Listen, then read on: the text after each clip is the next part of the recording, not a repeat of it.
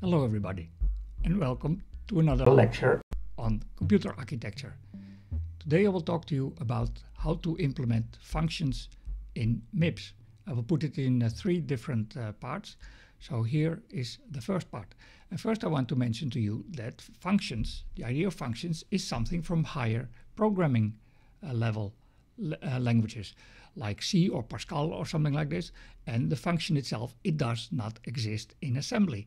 But as we will see, we can implement the idea of uh, functions into, into MIPS. So that is that the function themselves, the higher level programming is based on our MIPS and we will see that how that idea of functions is then put into MIPS. So let's take a look. Let's go back first to our uh, friend the uh, for loop, which I have put here once again, because I will show this at the end of, uh, of this for loop program.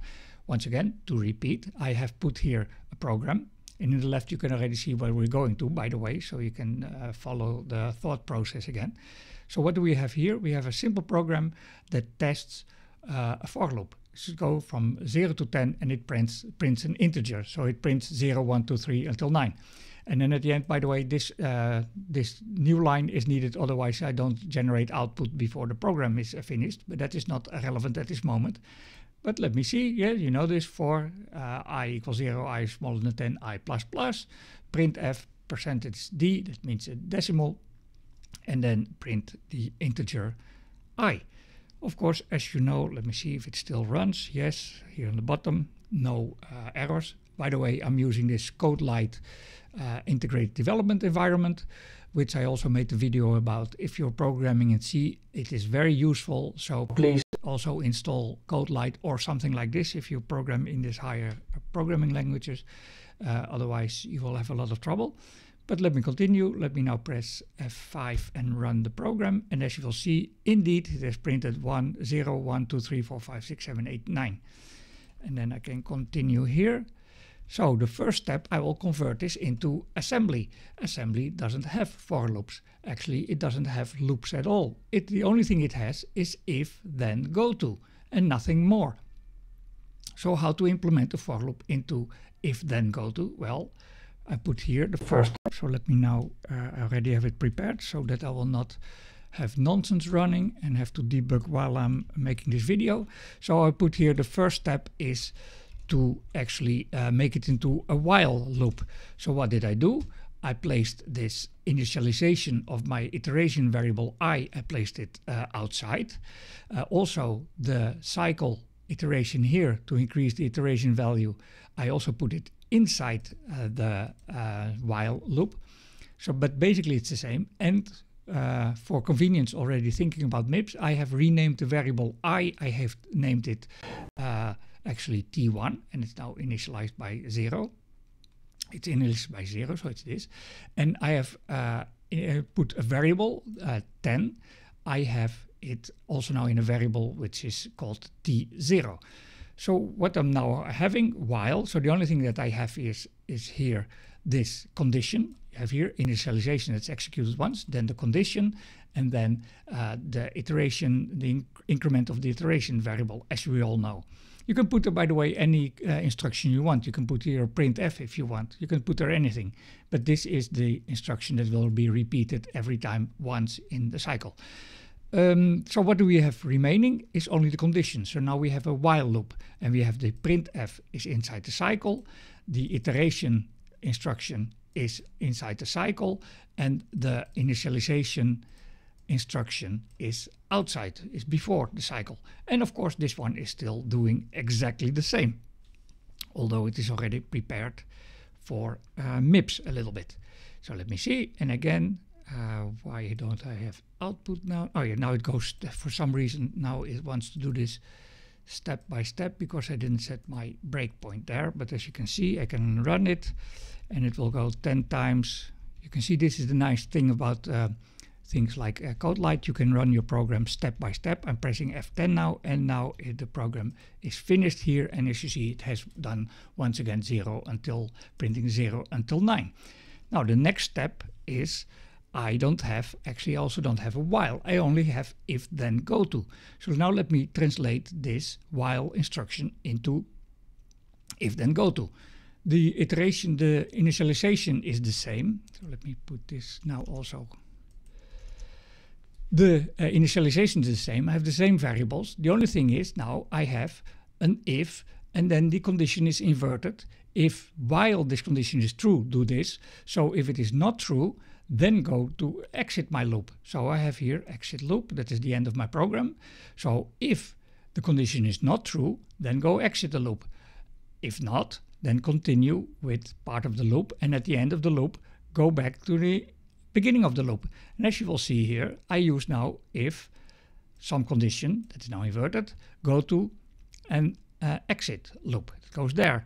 Do something, in this case printf, do the increment the iteration variable and go to start loop. Uh, let me now show you that this indeed works. And um, I will put here, yes, I already have put here a breakpoint. Uh, this red thing here is breakpoint. Now, the one thing that I want to change, um, I want to say here, uh, I want to go out when the two variables are equal because uh, t1 will initially be 0 and then 1, 2, 3 and I want to stop when it's equal to t0. t0 is 10 so I want to stop and go out of my loop when it is 10. So what I'm doing, this condition I will change a little bit. I will say if t1 equals t0 then I want to go out of my uh, loop. And let me see if this works. I compile with F7. Now I have here, oh yes, now I have here an error because we need here uh, this always uh, syntax is always the most difficult part but also there the compiler helps and you don't have to go into the editor and outside the editor. Now it compiles, let me run it and as you will see um, it again wants to put it step by step. I was hoping it will not have to do that. And as, as you can see, it will generate at the end, when everything is ready, it will then have generated uh, 0, 1, 2 until a 9. By the way, you could follow here if you uh, uh, rewind the video, you can see here at the bottom, you can see the, actually the values of your variables, which is very useful when you're doing uh, debugging. So then what did we do? We translated this text this into uh, MIPS and that is done here. Actually there is now nothing uh, anymore that we don't have in MIPS.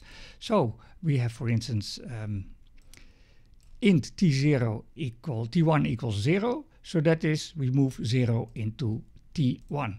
I will not want to click constantly.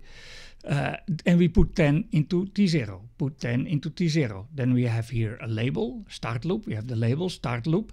Branch on equal, that means if equal, go to exit loop. If equal, go to exit loop. What do we do then?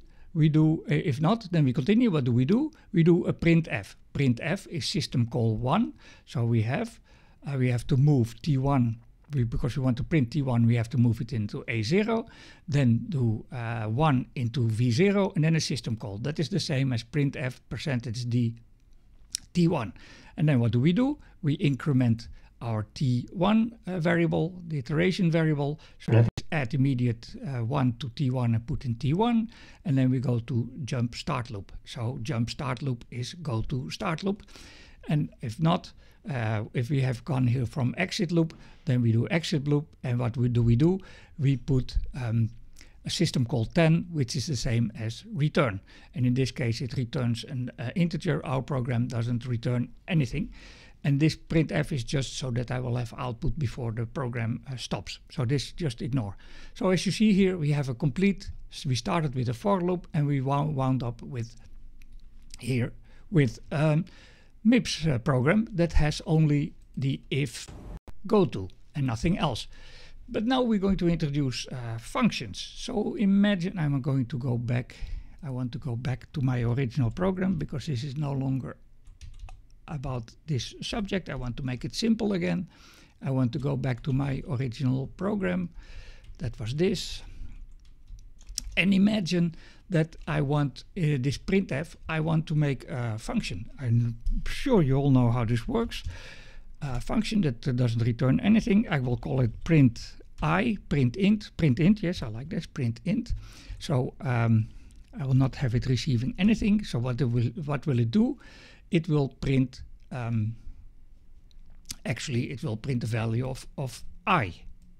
So let me copy paste this, copy, and I will put it here. We have print i. Now this variable, the scope of this variable was only this function main, so it is not known, but I can put this integer now outside.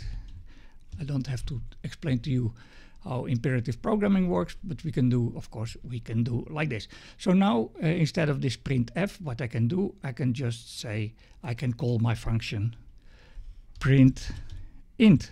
And I think I have to put here parentheses and now uh, this should work if I'm not mistaking. Let me see if it works. F7.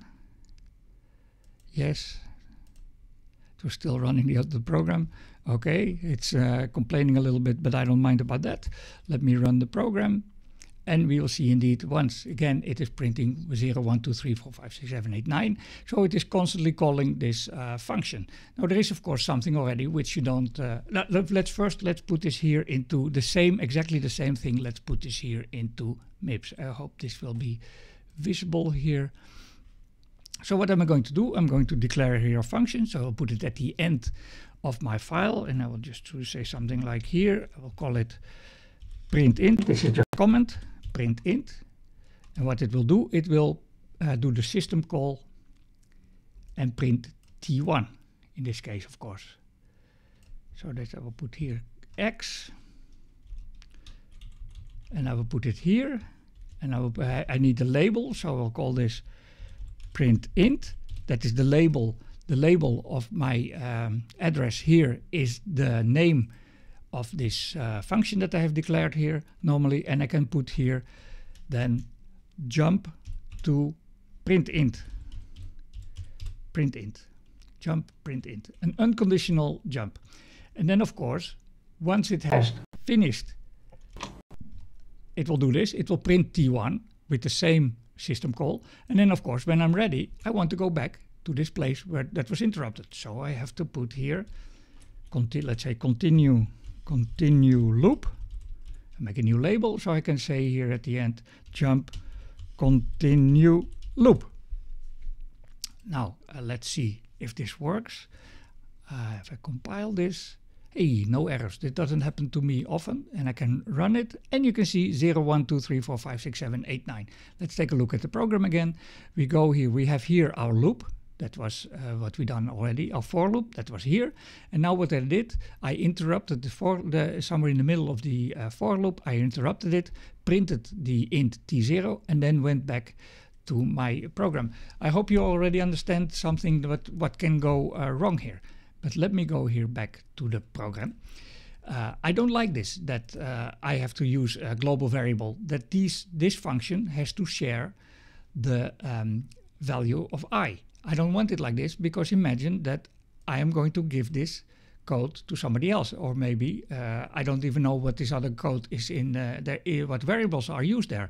So I just want to pass the information. I don't want to pass the name of my variable to this code so actually I don't like, like this these are global variables as you know I don't like global variables I only like local variables because then my code is much more flexible so actually how do I then pass this information to my function? Well, as you know, you have to then supply it, either passing by value or passing by reference. This is uh, probably explained in your lectures about programming, but we have to pass it a value. So we have to pass it a value here i, and here on the other side we have to receive it. So I will say here that it will receive, and I don't have to give it the same name, so I will just call it x.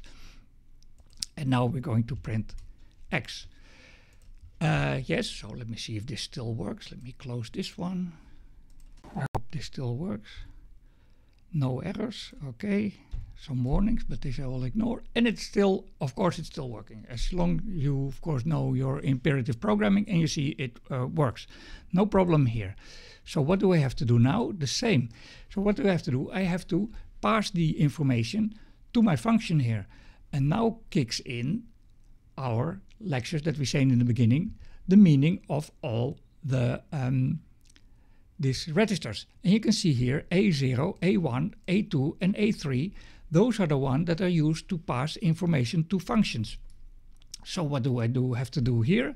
I have to say uh, print this function prints integer integer uh, received in, uh, let's use A0. Let's use, now let me put A, A1 just to complicate the things a little bit. So it will print the integer that is received in A1. So this uh, jump print int, before it's doing that, it has to put the value we want to print into A1. And what is that? We want to print, let me see, T1. So we have to do move into A1 the value of the contents of uh, T1. And then we can do this print int. Well, in this case, uh, we do a syscall, and the syscall is also just like a normal function, and it wants to have the information in A0. So here actually we have to put, um, we no longer use T1, this is not uh, allowed, and we use here, we have used A1. So it copies A1 to A0 and then does the system call.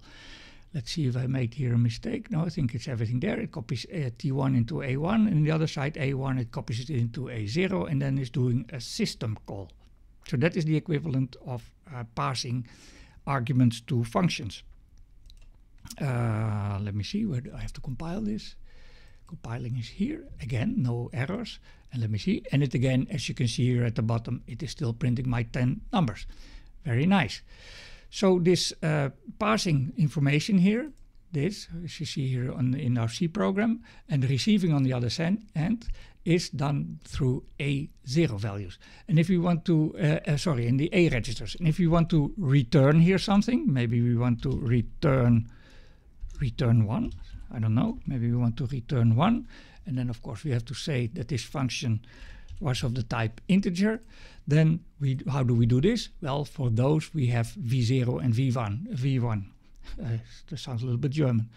Um, so this we would then do is before we jump back, we would say uh, place whatever value um, load immediate because we want to do a 1 load immediate into v0 we load the value 1 that is the equivalent of return 1. So you see how the aspects of C are implemented directly on the layer below that is uh, assembly. Now, uh, there is something going wrong now, which I can show you here. Imagine that at the end of this loop, I still want to, here, maybe I want to print, print, um, print int. Maybe I want to, at the end, I want to, because my lucky number, I want to print 13. Oh, um, that's okay. This program works, of course. Now we get, um, let's see if I can, uh, we, we return one. We have this. We don't want that. Uh, this is going okay. And now we get the output. And as you see, 0 and 13. And at the end, it finishes with 13. So that's all very nice. But if I do this here now, after I finish the loop and I want to print 13, then it will jump into here. Let me put it into this picture that I prepared for it. Now I have here uh, a function, it's like goSUB, uh, if you know basic. So it goes into the function, prints something here, and then it goes back. But it doesn't know where to go back to because this uh, in, in this part it had to go back to continue loop. But if I do now a print here at the end, it has to go back to that part, which is not, of course, nice to do. So let me see exit loop before I um, finish the program. I will put load immediate into uh, A1. I will load the uh, value 13 and I will jump to print int.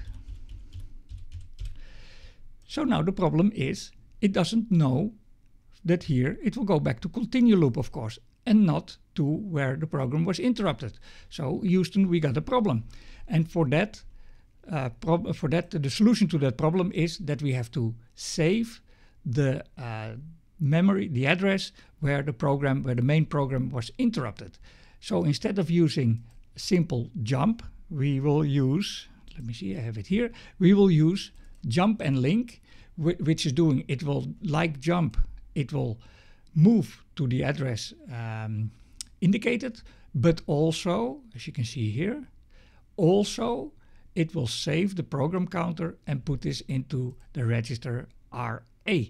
So instead of jump start loop, uh, jump print int, we use jump and link, jump and link, and then print int. And then at the end, instead of using jump continue loop, we can jump back jump on register, which register that is RA. As you can see here we have RA, that is the return address, and here we, you will see the program counter. It will save the program counter plus 4, which is the next instruction, and it will save that so that it will jump. It will jump back to the next instruction to where it was interrupted. So the only thing is here also I have to do here jump and link, and I hope now that it that it works. Um, let me compile it. I hope that yes, there's still no uh, no errors in the programming. And as you can see now, it is doing 0, 1, 2, 3, 4, 5, 6, 7, 8, 9, and uh, 13. So it was going uh, a loop, 10 times printing here, 10 times calling this function and printing something, passing the argument, like we did in C, 10 times. And then it continues and it prints one more time the value 13. It's a different part of the memory, but good, it was using jump and link and then uh, saving in the return address. As you can see, this apparently it is now 400024. That must be the instruction that was uh, then of this one of 27, load immediate, this V0. It has saved this into the return address and then when it received here jump on register the return address, it is then uh, this value and not one of those labels that are uh, here. So uh, I hope you, you understand it. When you're using functions, these are completely directly implemented into MIPS. So we are passing information through the arguments and uh, A0 to A3 and we can return back information in V0 and V1 if we want. And on top of that, actually, we have to use uh, jump and link and jump on register to have uh, the correct flow of um, information of, of uh, flow of the program. So it is a little bit like uh, GoSub in uh, BASIC if you know uh, how to program that. While the other one, jump, is called goto, jump and link is called uh, GoSub, that when it at the end it returns, it returns back to exactly the place that was interrupted. So see you in the next lecture.